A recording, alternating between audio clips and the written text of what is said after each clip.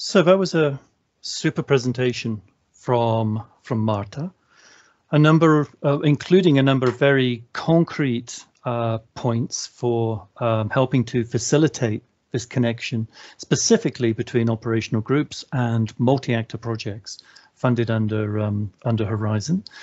Would any of the other um, NCPs um, in the um, in the webinar like to like to comment at this point? Uh, maybe to build upon some of the points that uh, that Marta has um, has made.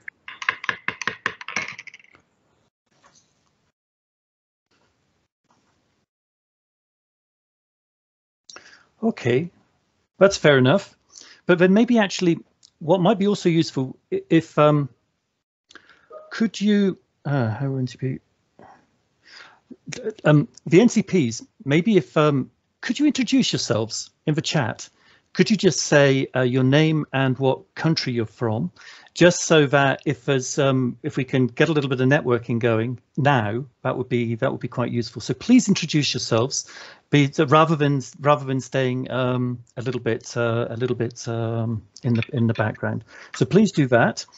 Uh, oh, great. Ah, we have Christina. Ah, Christina, I saw also that you contributed to the um, to the Google Docs um, as well, which was uh, which was really great. So thank you very very much for that. Um, I see we have a we have a question from Nancy in Romania, and then Inge has her hand up. So Nancy, what's your um, what's your question? Uh, hi, just a second.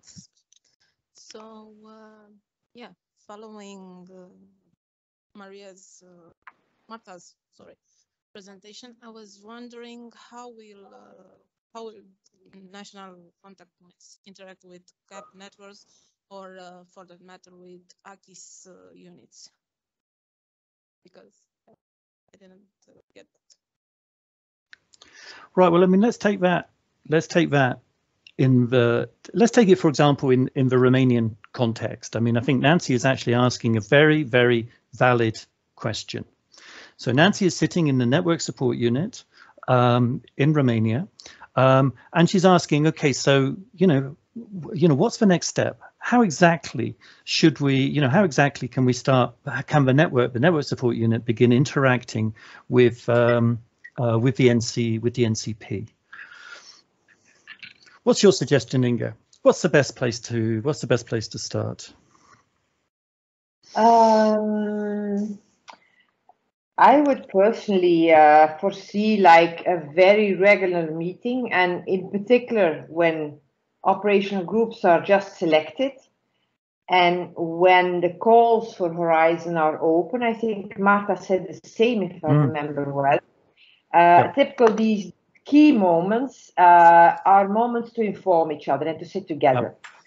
But um, also during a Horizon project, uh, many of these projects, and there I'm not sure if our NCPs are still following up running projects or if they are more focused on building new consortia. But suppose they are also following up running project, I think something very useful to do would be to help them to get a number of operational groups coming to some stakeholder events that they uh, organize because they will be the ones, I mean, the CAP networks will know which operational groups they have in certain teams that might fit with certain Horizon multi-actor projects. And these Horizon projects will be super happy to have them there. Um, I would even go further, and that was in fact why I raised my hand. Um, we had uh, quite early, I think in 2016 or so, a meeting with the very first nine multi-actor projects. And we also discussed practice abstracts and the difficulty for a researcher to draft a practice abstract.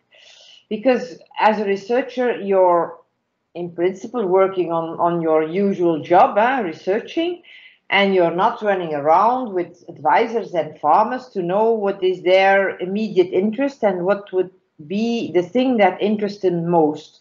So we really agreed that um, the researcher, certainly not on his own, but this researcher is maybe not the ideal person to draft practice abstracts. These are more the people coming from practice who are involved in the projects. And that's why in a multi-actor project, we need a good mix, not 14 research institution and then COPA and, and, and uh, one advisory organization. I'm, I'm now exaggerating a bit, but, but suppose you have uh, a multi-actor project like that, to draft your practice abstract is going to be quite difficult because where will be the practitioners with the day-to-day -day experience about how our end users would like to see uh, the content presented. So it's important as from the start to have such people involved. Eh? That's why also in the AKIS we, we emphasize so much that advisors should be visible, that we can find them, that they can be engaged in these projects, etc. The same goes for Horizon Multi-Actor project, that advisors or advisory organizations can get in and they most probably, if they have sufficient contact and, and competencies uh, if they are very administrative, of course, it's difficult, but uh, usually, I mean, 95% of advisors are is really, uh, certainly the private ones, they are paid to bring good advice. If they don't, it's quickly finished. Eh? The will not ask them anymore. Um, so um, I think for practice abstracts, one of the key issues we've had in this period is that a number of multi-actor projects have not been multi-actor enough. I know two big research institutes who said for three years, this will go away. It's not important. We don't join this. But eventually they turned and they understood the value. And now we are talking in big EURAGRI meetings about transformational research and uh, interdisciplinary research. So it's it's becoming more and more a trend that we realize that we cannot solve our challenges alone as a researcher, but that you need these other persons. And that's also why these living labs have arisen in Canada, in, in, in, in several countries where they didn't know about multi-actor approach because in fact multi-actor approach is the solution for that. Now, coming back to practice abstracts, what was our conclusion of, of that meeting with the first multi-actor projects, which I fully, fully support, is that ideally your practice abstract is written in a first go, let's say, by a practitioner in your project. And then, of course, you need a researcher to check if, if everything is correct or maybe to give some ideas on beforehand give something and say, look, is this something that farmers would read? Would they be interested in this? But it's not a work that a researcher on its own should be doing because um, they often, and if now AKIS goes well and we get more and more researchers outside and on the farm and in contact with advisors and, and farmers, it will solve itself, you know, on the longer term. But um, the situation as it is now is that researchers really need help in drafting these practice abstracts. And that's also one of the reasons that maybe a number of the practice abstracts of multi-actor projects that are there in our database. I haven't read them myself, eh? uh, so uh, there's too much uh, to follow. But um, I, I, hear sometimes that they are not sufficiently attractive for, for practitioners, and I can understand that if you are in a, in a multi-actor project with not enough uh, practitioners and you don't have the possibility even not to outsource, you could outsource this. Eh? There are professional, even professional communicators, uh, as long as they understand what a farmer and uh, an advisor wants to know, um, that can do that. So I think this is this is for a pure researcher, in the first step, mission impossible. On the longer term, the more we get together in AKIS, the more we start understanding each other, as it was in my young days when I was at university, there was no problem. It's because the worlds have grown apart. The researchers had to make scientific uh, abstracts and the advisors, they, they just uh, went and, and made the best of it. So if hmm. we now get these back together, understanding each other, I think it will also be much easier to draft practice abstracts, mm. even for mm. researchers. Mm. So thank you, Inge. I mean, that was a very useful and important reflection on, on practice abstracts, on the evolution of a practice abstracts. I also think that, I mean, your response to Nancy also was very was very practical and very straightforward. I mean, clearly, you know, get to know your NCP, but the issue, as you have highlighted so importantly, is, is the timing of the meetings and being, you know, strategic and timing the meetings and timing the collaboration and cooperation and discussion with respect to specific calls, etc., etc. But there's also another very, very practical point, which I would just like to introduce. I'm often asked, how do we, and you know, for people who aren't familiar with the Horizon um, environment, how do I find out what Horizon multi-actor projects are working in my country? How do you do that? Where do you start? I mean, if you're not familiar, where do you start? Well, in uh, may I uh, reply? Please do. Yeah. I didn't raise my hand. Sorry. um, in the work program as a whole, at the place where we have the multi-actor definition, that's normally on page 9, 10, 11, somewhere there. Mm. They have all the bullets and the things you need to do as a multi-actor project. Yep. So take care, not in the topic, eh? unfortunately not. Why? Because we would need to draft the same text uh, yep. 50 times. Okay, so you have to look in the introduction and there was always a footnote um, in Horizon 2020. To be honest, it's a good question because I need to check this now for Horizon, uh, the new call, whether that's been taken care of. But um, for Horizon 2020, there was always a footnote saying these and these and these and these projects are multi-actor. Yep. Then you go on Cordis, ah. you take these numbers, SFS 6 or whatever, mm. And you know which are multi-actor. Super. So you go to Cordis, you you search with the numbers, and then you will get a list of all the partners, and there'll be a little country flag there, so you can see which partners are active are in your um, in your country, in your member state. Super. I mean, I think that's really really practical, and we should communicate that much more as well because it's like really basic. You know, yeah. what yeah. projects are working in my country? As simple as that. And who are the partners? Um, I see some hands up, and I'm sorry to have uh, neglected the hands up. And there's some also some comment in the chat. We've just got now the last five minutes or so before I hand over to Teresa to close the webinar. Um, so, firstly, all, all the hand up was uh, was uh, was Birgit. Yeah, thank you very much for the floor. Um, again, I just wanted to um, uh, just add uh, or simply contact your national contact points uh, in terms when you want to know about uh, the multi-actor projects and uh, the partners uh, in your country because they are quite aware what's going on regarding the horizon, um, the horizon or the multi-actor projects in the respective um, countries. And actually, I wanted to stress again uh, the very practical point of collaborating uh, with with um, the the AKIS network and the EIP um, information point um, in in the in the in the uh, respective countries. In Austria, for example, and uh, as uh, Inge Van Oost uh, said, it's very important to meet regularly. Uh, uh, for example, we in Austria uh, regularly meet with the innovation broker mentioned by Michaela Schweiger this morning, and we compare our activity plans. So in order to um, to identify synergies. And the more NCPs know about uh, the system uh, of AKIS and, and, and, and CAP and so on, and the more um, the innovation broker in Austria, for example, knows about Horizon Europe, the better we can identify and exploit synergies.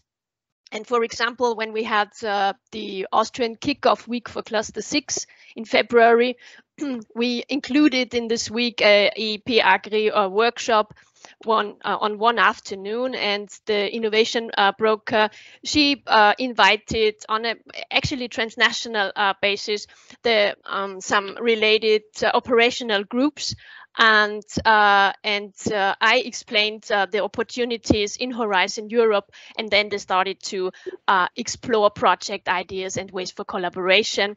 And I think this was was a a, a, a nice experience and a, a, good way of how to link uh, the, the national contact points and and the EIP-AGRI contact points uh, in, in in in countries or in at least in Austria it works out um, quite well, and there are many more links, I would say, uh, between the work of national contact points and the AKIS uh, system, and uh, um, um, and I think we can really uh, reinforce the cooperation and the information flow here. Thanks. Thank you. Thank you, Peggy. That was super informative, super practical and super enthusiastic. So that was great. Thank you very much. I see uh, Timea again from Hungary. You have your you have your hand up. Yes, thank you, Mark. Uh, I just wanted to give an uh, other compliment now for the organizers because before we didn't have a strong collaboration uh, with the national contact point here in Hungary. But now, be, thanks to this uh, webinar, we get in contact and we will start a discussion on how to cooperate better and, and uh, what to integrate uh, in the CAP strategic plans to, to give a basis to that. Thank you again. Great, that's that's really good to know. That's that's absolutely wonderful. Um, and then finally, I'm keeping my eye on the on the clock. Um, we have um, a question and a comment from uh, Christiane in um, in Austria. Christiane, please, would you like to uh, to ask your question and and make your comment? Thank you.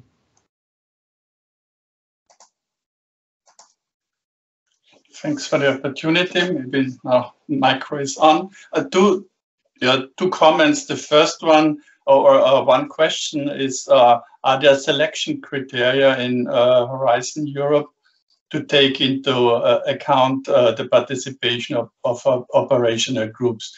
Are there mo more points forcing? Then it's more attractive that they, they take part. Uh, uh, and the, the second one is also a comment, what we have learned when uh, scientists uh, it's very it's usual in, in Austria that scientists they have to publish in a very uh, important scientist journals, then it's uh, helpful for them for their career. But uh, nothing is foreseen if they publish practical abstracts, so they don't spend enough time for this. Maybe this that's uh, similar in the whole of Europe. So the system should be changed. Yeah, that uh, scientists are more keen to to do this.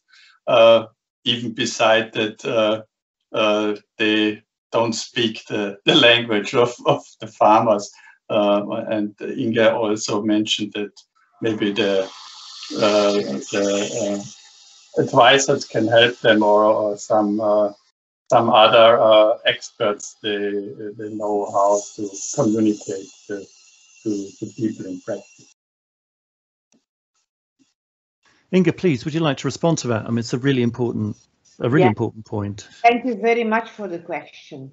Um, on your first question, uh, the reply is simply yes. But um, just one big tip I want to give you. I've assisted to a lot of evaluation uh, sessions and uh, I've seen consortia writing, I will connect with uh, 20 to 50 operational groups. Of course, this is not very impressive to the evaluators if, there's not even one mentioned with the name and, and the country where it's coming from. So what uh, if uh, a Horizon project comes with a list of 20 already identified, so they did their homework, they found operational groups that are interested to, to join or to work together or to come to the stakeholders meetings, and they found them uh, on beforehand, definitely they will get extra points for that. That's for sure. Um, and the rest I can I can only be very happy that in Austria uh, uh, the scientists should also publish in practice uh, practice abstracts or I, I, suppose you also mean in in, in um, agricultural journals or something. Um, and indeed, we need to, to change the system because we are uh, spending billions and billions for research where nobody has, except the, the nature and science uh, uh, publishers, uh, they, they gain something with it. But, but, but the real world, who needs so many transitions, doesn't have any, any use of it. So uh, thanks for saying the system must be changed, but, because that's my true belief too and that's the steps we want to set with AKIS, with operational groups, with multi-actor projects. Super, thank you. I saw that Christina from uh, from Hungary, NCP from Hungary, had your hand up, and you hadn't spoken yet. It'd be really super if you, please. Yes, thank you, thank you. Uh, first of all, I would like to thank for this event because it's I, I think it's um it's an excellent initiative, and it really uh, gave us the opportunity to to start to cooperate with uh, with partners uh, in Hungary with Timea. So it, it it was an occasion for me to uh, to get know her. Uh, and uh, I wanted to add one thought on um, how we introduced the researchers the multi-actor approach. We just organized an event in April about the multi-actor approach uh, and we invited a research organization who uh, was um, who spoke about uh, their experiences, how they did it in practice. So I I uh, introduced the theoretical part, and then they they have spoken about uh, the experiences. Thank you. No, thank you very much. That was a really, really nice kind of closing um, intervention. I'm afraid I'm going to have to close the discussion there because we're right up against the um, the time.